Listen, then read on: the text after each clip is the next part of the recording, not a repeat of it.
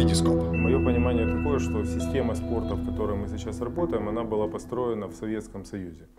И это была очень сильная, мощная система. Вы знаете, что своими спортивными результатами и всей системой от детского спорта до спорта высших достижений, спорт, советский спорт славился во всем мире. И поэтому говорить о том, что система плохая, нельзя. Это была хорошая система. Но она работала в экономических и социально-политических условиях Советского Союза. То есть на плановой экономике, на идеологии коммунистической социалистической идеологии. И поэтому она работала вот в этих условиях. Сегодня Украина находится совершенно в других условиях.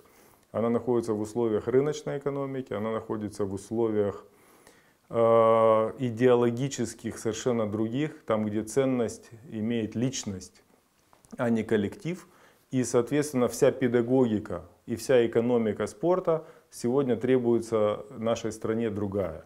А мы пользуемся сегодня системой, э, которая была создана для Советского Союза. И, конечно, в этом смысле я не думаю, что это самая эффективная система для нашей сегодняшней ситуации. Поэтому мы далеки от идеала. Витископ. Спортивне відео.